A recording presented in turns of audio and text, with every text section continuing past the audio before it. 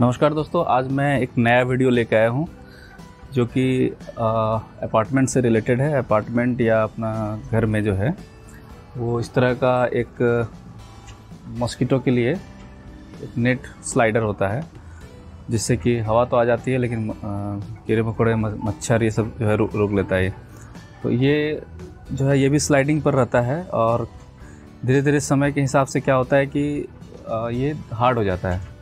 ठीक है ना, इसमें काफ़ी धूल मिट्टी इसके ट्रैक में आ जाते हैं, जिससे कि हार्डनेस डेवलप हो जाता है इसमें। तो आज मैं दिखाऊँगा कि इसको किस तरह से मेंटेन किया जाए और हार्डनेस को रिमूव किया जाए। ठीक है, देखिए अभी ये काफ़ी हार्ड हो चुका है। देखिए अभी बीच में फंस फंस भी रहा है।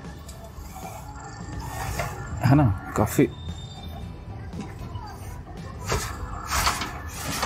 हार्डनेस है इसमें। काफ़ी ताकत लगाना पड़ रहा है। चलिए अब हम इसको कैसे साफ़ करना है उसको देखते हैं। चलिए तो यहाँ, ये देखिए, ये इसका ट्रैक है। ये ट्रैक है इसका, ठीक है? ये ट्रैक है। इस ट्रैक में पहले हम सफ़ाई करेंगे। इसमें जो भी मिट्टी है, धूल है, इसको हम पहले बाहर करेंगे, ठीक है? पहले पहले बाहर करते हैं। तो इसके लिए सबसे पहले एक टूथब्रश लेंगे। टूथब्रश हो या आप कोई भी ब्रश ले सकते हैं। डाइंग ब्रश भी हो सकता है वो। ठीक है? तो इसको इससे, इसकी मदद से ना पहले थोड़ा सा साफ़ कर लेंगे।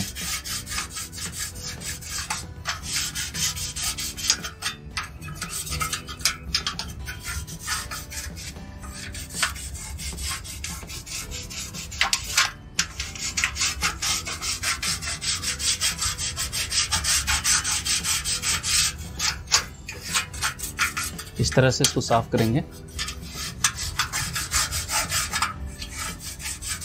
बैठी हुई जो जो गंदगी बैठ गई है मैल डस्ट क्योंकि बाहर वाला पोर्शन है तो इसमें स्वाभाविक बात है कि कुछ ना कुछ डस्ट तो एक्यूमुलेट होगा ही। इस तरह से देखिए, काफ़ी देखिए हो गया। एक तरह से सबसे पहले सफ़ाई करनी है इसकी। ठीक है, उसके बाद आगे करेंगे। अब हम इसको आगे के पोर्शन को, इधर हमने इसको स्लाइड कर दिया, जिधर साफ़ कर चुके हैं। अब आगे के पोर्शन को जो है, साफ़ करते हैं, इसी तरह से।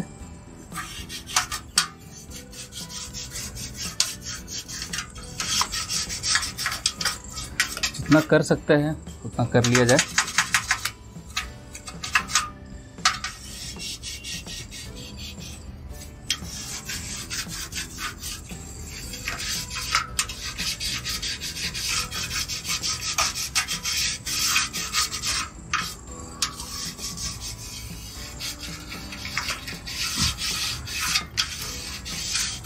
तो छोटा छोटा मेंटेनेंस टिप है ये। बहुत ही फ़ायदेमंद है और मुझे लगता है कि सभी को इससे आज न कल गुजरना ही है। इसके लिए हम बाहर से किसी को बुलाएँगे तो वो हेवीली चार्ज कर देगा हमें। ठीक है? तो देखिए ब्रश की हालत हो गई ऐसी। ठीक है? नया नया ब्रश था कोई बात नहीं। तो अब हम क्या करेंगे? नेक्स्ट स्टेप हमारा क्या है मैं बताता हूँ। तो इसके लिए ये एक एयर ब्लोअर आता है, ठीक है मार्केट में। इसको भी आप घर में हमेशा रख सकते हैं। कभी भी डस्ट वस्ट को उड़ाना हो, है ना तो कर सकते हैं। ठीक तो इसके लिए ये एयर ब्लोअर का इस्तेमाल चलिए करते हैं। इससे हम सारे धूल को ट्रैक से हमें हटाने में इससे काफ़ी मदद मिलेगी एयर ब्लोइंग के थ्रू ठीक है, क्योंकि ये अंदर है ट्रैक अंदर ट्रैक है तो या तो आप गीला कपड़ा लेके, है ना, गीला कपड़ा करके और उसमें डाल के आप वो गीलेपन की मदद से जो है धूल को कपड़े में आ जाएगा और उससे आप फिर साफ़ करके फिर इस तरह से रिपीटेडली आप कर सकते हैं। नहीं तो फिर टेक्निकल कुछ इक्विपमेंट है तो ये है, एयर ब्लोइंग का होता है, ये काफ़ी आप जगह आपने देखा होगा। घर में भी काफ़ी हेल्पफुल रहता है, नेट वेट को साफ़ करने में एक बार एयर ब्लो कर दीजिए, बस सब साफ़ हो जाता है। वैक्यूम क्लीनर का अपोजिट वैक्यूम क्लीनर में भी ये फ़ंक्शन रहता है। ठीक है? तो इससे हम इसको ब्लोइंग करते हैं और डस्ट फ्री कर देते हैं ट्रैक को।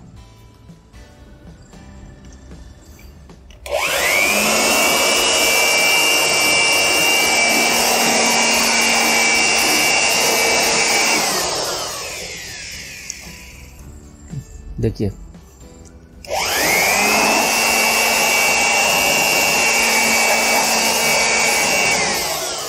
अब हम इसको करते हैं, बहुत टाइट है। इसको करके दिखाते हैं क्लोज व्यू में देखिए। ये ब्लोअर गया। ये धूल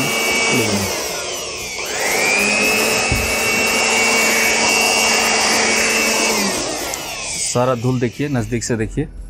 सारा धूल, जितना निकल सकता था, सब उड़ चुका है।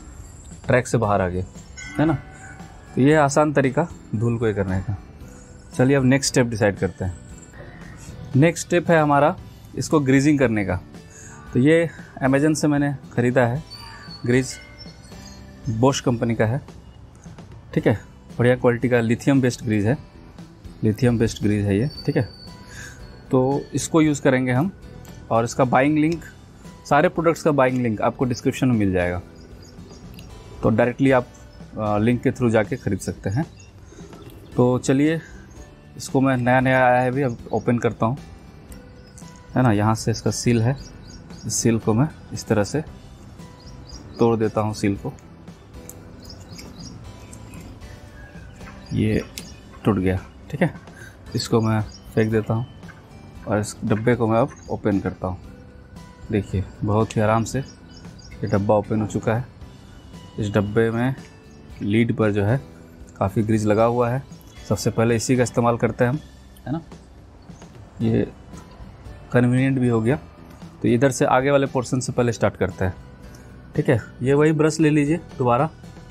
इसी ब्रश को लेना है और ये लीड है। बस इसको इस पर ऐसे लगा लेना है, इस तरह से। अब उसके ट्रैक में हम देखिए किस तरह से करते हैं। ट्रैक में इस तरह से हमें देना है। Left right centre left right centre ठीक है?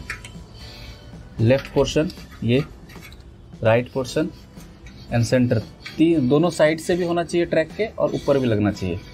इस तरह से लगाते जाइए। फिर लीजिए। इससे क्या होगा ना ब्रशिंग से, कि एक्सेस ग्रीज नहीं लगेगा इसमें। उंगलियों से लगाएँगे, इससे लगाएँगे, उंगलियों कटने का डर है।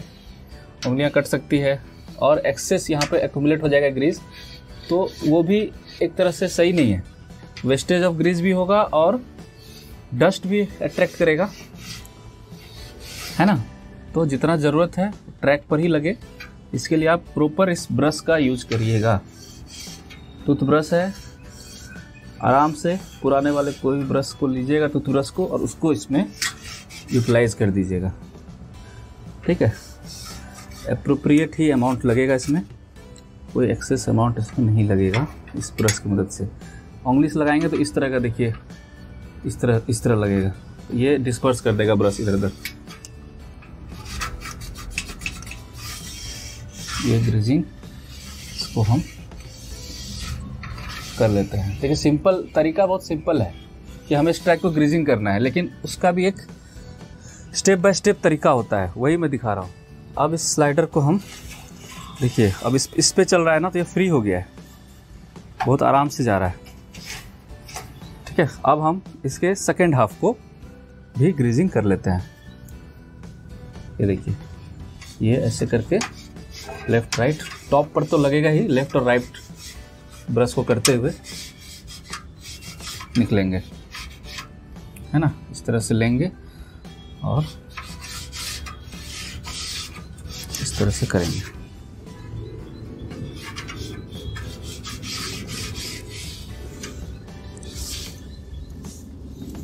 इधर से कर लेते हैं।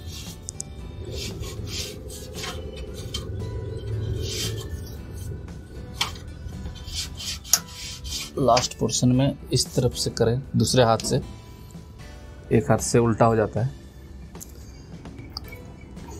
बहुत अच्छा ये ग्रीज है, अच्छी कंपनी का है। है ना? ये डस्ट भी कम अट्रैक्ट करता है। लिथियम बेस्ड है। व्हीकल्स बियरिंग्स इसके लिए होता है और इसको हम डोमेस्टिक के लिए भी यूज़ कर सकते हैं। ना? अच्छी क्वालिटी का ग्रीज है। अभी देखिए ब्रश भी स्मूथली इस पर चलने लगा है। है ना? लेफ़्ट राइट जब भी आपको लगे कि हमारा गेट जो है वो हार्ड हो गया है स्लाइडिंग हार्ड हो रहा है इसका। तो अच्छा अब इसी तरह से हम क्या करेंगे? अपने ग्लास विंडो वाले को भी, उसको भी ग्रीजिंग कर लेंगे। इसमें कुछ ज़्यादा सफ़ाई की ज़रूरत नहीं है, क्योंकि ये ट्रैक ऊपर रहता है। ये अंदर रहता है, इसलिए यहाँ पे एक्यूमुलेशन होता है और यहाँ पे नहीं होता है। एयर ब्लोइंग हम कर ही चुके हैं। लगे हाथ इसको भी कर ही दीजिए, इस ट्रैक को भी। आपका एक जो है वो कोई बात नहीं, इधर उधर लग भी जाए तो कोई टेंशन की बात नहीं है। होता है। इस तरह से, इस तरह से कर दीजिए इस पर ये ट्रैक अंदर तक। इसमें बॉल बेयरिंग टाइप का रहता है, इसलिए इसके लिए बहुत बढ़िया हो जाएगा। ग्रेज मिल जाएगा उसको। है ना? अब मैं इसको देखिए स्लाइड करता हूँ उस पर ये देखिए, कितना स्मूथली स्लाइड हो रहा है। देखिए मोमेंटम फ्री हो गया? देखिए, मैं पुश करूँगा, ये वहाँ तक चला जाएगा। ठीक है?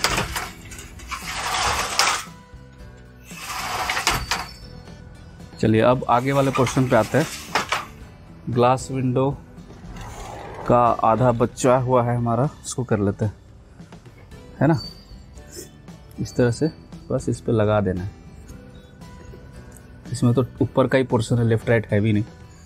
वो डीप में था, इसलिए इसमें लेफ़्ट राइट करना पड़ा था इस तरह से लगा दीजिए। वो अंदर में मिक्स हो जाएगा।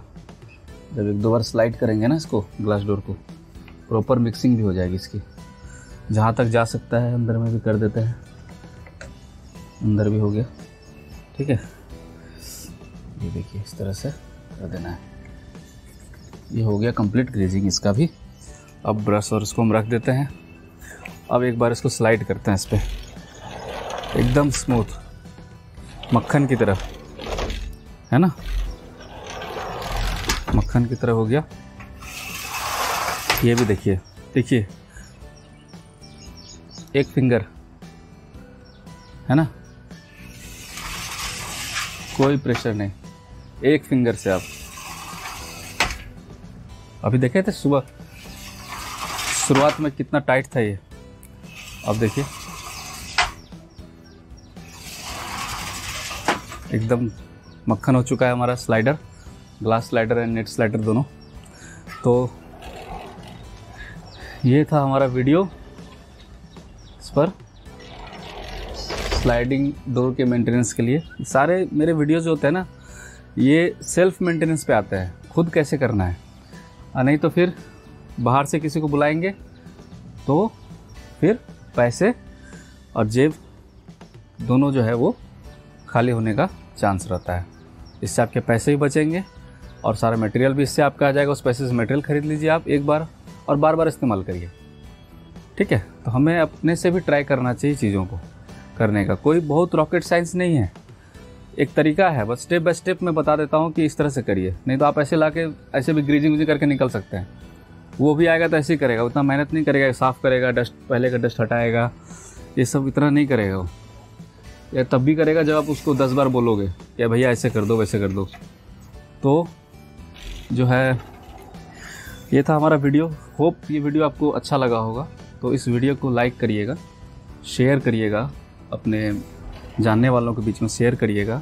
हमारे चैनल को सब्सक्राइब कर लीजिए, बेल नोटिफिकेशन आइकन भी दबा लीजिए। ताकि आगे कोई भी वीडियो आएगा तो आपको तुरंत पता चल जाएगा नोटिफिकेशन में आपको मिल जाएगा न्यू वीडियो का, जो भी है नोटिफाई हो जाएगा आपको। और तो फिर मिलते हैं अगले किसी मेंटेनेंस वीडियो में। या तो मेंटेनेंस वीडियो होगा या कोई टेक्निकल वीडियो होगा गैजेट रिलेटेड तो चलिए फिर, तब तक के लिए इजाज़त दीजिए। थैंक यू धन्यवाद हैव ए नाइस डे जय श्री राम।